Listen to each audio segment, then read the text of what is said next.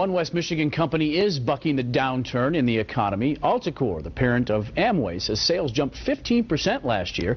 The Ada-based company reporting sales of $8.2 billion, much of that sales growth overseas. 80% of Amway's sales are in foreign markets. Two-thirds of the company's 59 worldwide affiliates posted an increase in sales. Much of the sales growth occurred in Russia, China, and India. Alticor has made a special effort in re-promoting the Amway name. The company has stepped up advertising and marketing, including the sponsorship of high-profile events like concerts.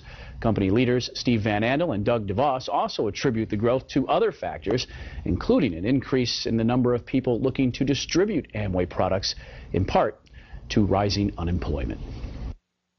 Another one was products. If you look at the products, particularly the nutrition and beauty products, they're products that even in a, a difficult time like the economies around the world, uh, even in a difficult time, people are very interested in their health. They're very interested in, in beauty, and and so for us, they're they're products that fit in. I think we'd have to say we weren't as connected to the consumers in the marketplace as we needed to be, and you've started to see in the past year with a lot of our advertising and our communications about how we're reconnecting.